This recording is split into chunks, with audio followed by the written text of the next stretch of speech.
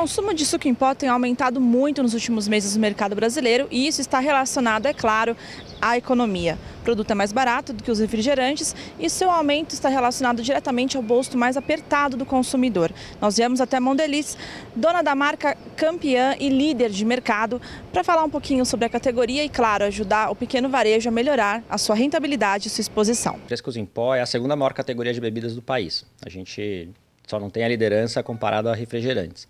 É uma categoria que cresce há mais de três anos. Então, independente do contexto econômico, é uma categoria que vem super bem. Vem com um crescimento de dois dígitos a cada, a cada três anos. A gente vê esse negócio ganhando mais relevância dentro da mesa do brasileiro.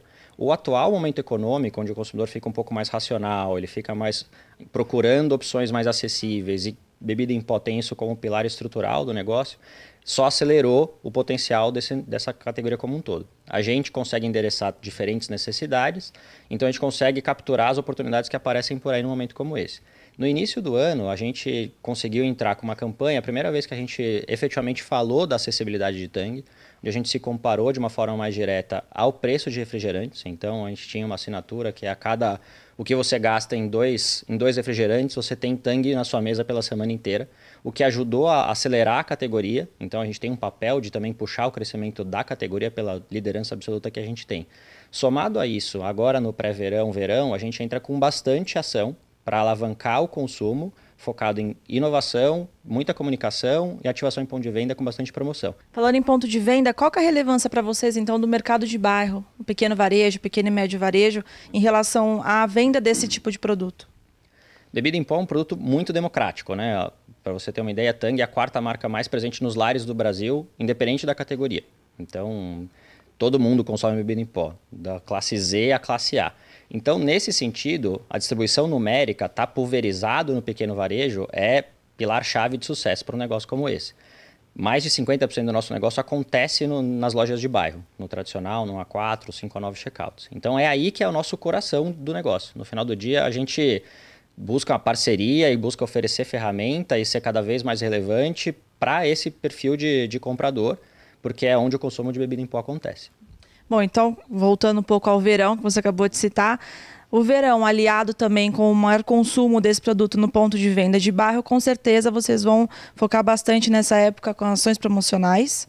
Sim, é, acho que a gente está vindo com um plano mais forte que a Mondelez já teve nos últimos cinco anos. E, como eu comentei, não é só uma ferramenta. Então, a gente começa com um plano muito forte em inovação. Então, nesse sentido, Tang... A gente começou o semestre ativando uma marca que é Tang Chá, que é um produto que ainda tem uma grande oportunidade de crescimento, que endereça refrescância, ele tem um gostinho, uma experiência sensorial diferente do nosso restante do, de todo o portfólio, uma campanha que a gente, que a gente chamou de A Hora de Porchat, com o Fábio Porchat, que foi o garoto propaganda, que foi um super sucesso foi pensada para ser comunicada na internet, mais de 20 milhões de views dos programetes que a gente criou. Então foi um começo de verão bastante forte. E agora a gente entra com novos produtos. O primeiro, o primeiro lançamento nesse sentido é a linha Nosso Mix, tem aqui, depois a gente pode mostrar um pouco mais, que a gente trouxe o sabor laranja, que é o SKU mais vendido do, do mercado brasileiro, o preferido do Brasil, com no, outros também campeões de vendas. Nesse sentido, tem dois novos sabores, então é laranja-limão e laranja, maracujá e morango. Então ele entrega a laranja que todo mundo gosta, com um toque de refrescância, com sabores que toda a família gosta. Então é um produto que traz variedade para a mesa, ele traz mais variedade também para trazer uma incrementalidade para a categoria como um todo.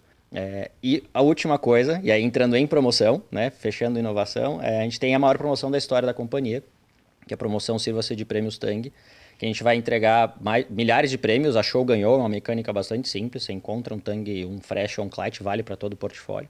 É, você pode ganhar até 400 reais. E tem ainda um sorteio de meio milhão de reais no final da promoção, mais um monte de prêmio exclusivo para os varejistas. Então, é uma forma da gente também estreitar o, o, o vínculo e oferecer um, uma solução que o varejista consegue oferecer para a sua base de consumidores, para ser ainda mais relevante dentro do seu bairro. Fábio, para você, qual é o futuro, então, dessa categoria no Brasil? Você falou no início da entrevista que é a segunda categoria de bebidas mais consumidas, né? não alcoólicas, mais consumidas. Para você, vai chegar a ser o primeiro e em quanto tempo?